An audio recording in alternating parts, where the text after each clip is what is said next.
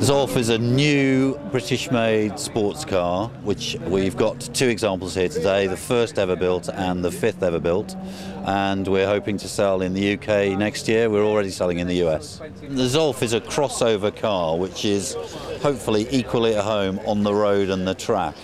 It's relatively basic internally. It's the sort of car that you would choose to take out on a Sunday morning for a drive on your favourite B roads, or maybe take it to Yorkshire or up into Wales for a special occasion to enjoy the business of driving.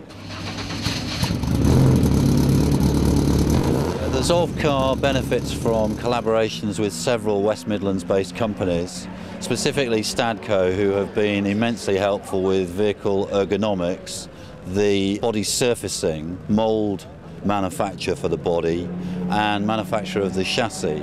Also work closely with another Midlands-based company called Simpact, who are responsible for the development of the chassis space frame to achieve torsional stiffness that we've got and the lightweight that we've got. So we've got a fantastic pair of partners there. We've also worked extensively with AP Racing, who are a world-class company who supply Formula One teams with brakes and clutches, and they're responsible for the braking and the clutch system on this car as well. They're based in Coventry. We're a first-tier automotive plastics supplier, particularly to people like Morgan, and uh, later through the NVN, people like Westfield and uh, obviously Zolfe. Yeah, the NVN's a group of, uh, well, started off as a group of local companies, West Midlands-based companies, that um, specialise in certain aspects, and the idea is that we can collaborate with each other and, you know, mates rates and favours and get to look around. We go on some great trips to places. Um, just a bit of fun and business.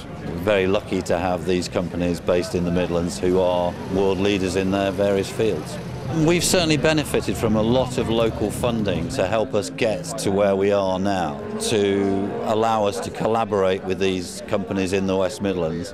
If it wasn't for that money and uh, the involvement, we wouldn't be where we are today. So we've got Car 5 here, which is a car which has been specifically built for a 25-hour race in California in December.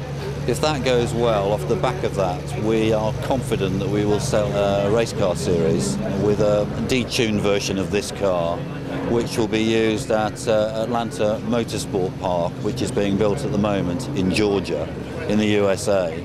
Cars will also be used for driver instruction and training, and hopefully six cars will turn into 60 cars and uh, then in addition to that, the next step is to launch the car officially in the UK. We've been beavering away with our partners for three years now. We've got to a point where we're ready to actually start doing some publicity with the vehicle, which is one of the reasons why we're here. Burning off Porsches and Ferraris and things like that. Because it's very lightweight, it's very nimble, fantastic power to weight ratio, and handles like a dream.